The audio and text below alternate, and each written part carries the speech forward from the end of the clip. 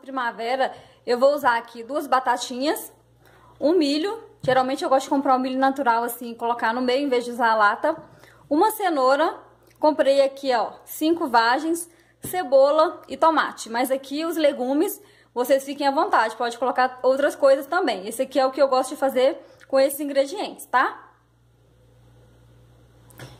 Então, pessoal, aqui para o nosso arroz, cortei aqui a cebola, o milho, a vagem, né, a cenoura, o tomate e a batata, né? Mas lembrando que vocês podem colocar os ingredientes de acordo com, a, com o gosto de cada um. Vou colocar aqui um pouquinho de óleo e o tempero.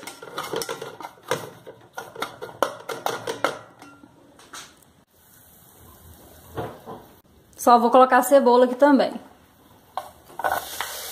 Pra dar uma refogadinha antes.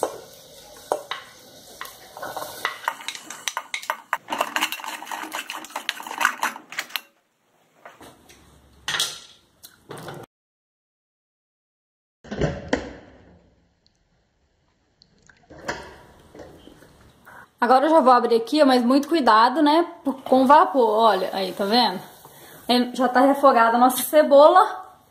Agora eu vou colocar aqui o arroz, né? Eu coloquei duas medidas.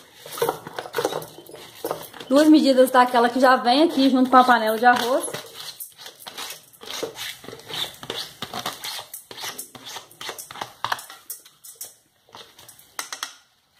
Já vou colocar aqui agora todos os legumes que eu vou usar.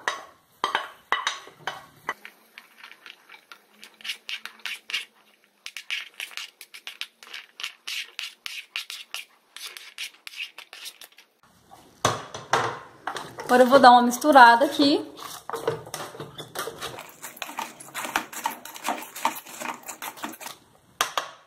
Vou fechar a panela aqui, vou deixar ela por 3 minutinhos aqui pra dar uma refogadinha no arroz e nos legumes. Pessoal, já passou os 3 minutinhos, eu vou abrir. Olha só o barulhinho, né, de que está refogando. Vou aqui misturar.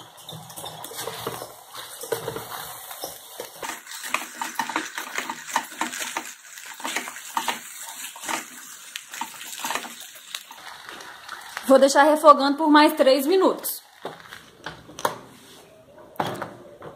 Pessoal, já passou mais 3 minutos, né? Já vou abrir aqui a panela. Dar mais uma misturada aqui. E agora nós vamos colocar a água. Pessoal, a água, né, é uma medida de arroz para duas medidas de água. Então, como nós temos aqui os legumes, a gente tem que considerar que é mais um pouquinho do que a quantidade normal de arroz. Então, eu coloquei um pouquinho a mais de água. Agora, a gente vai misturar aqui. A gente vai acertar o sal aqui agora, tá?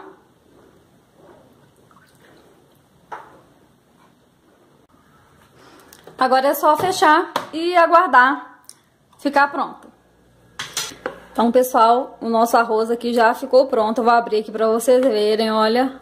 Olha só, gente. Olha como que rendeu, olha só, encheu minha panelinha. Ó, o arroz, olha só, ficou soltinho. E os legumes estão bem cozidinhos. Viram como é muito fácil fazer esse arroz primavera? E ele fica uma delícia.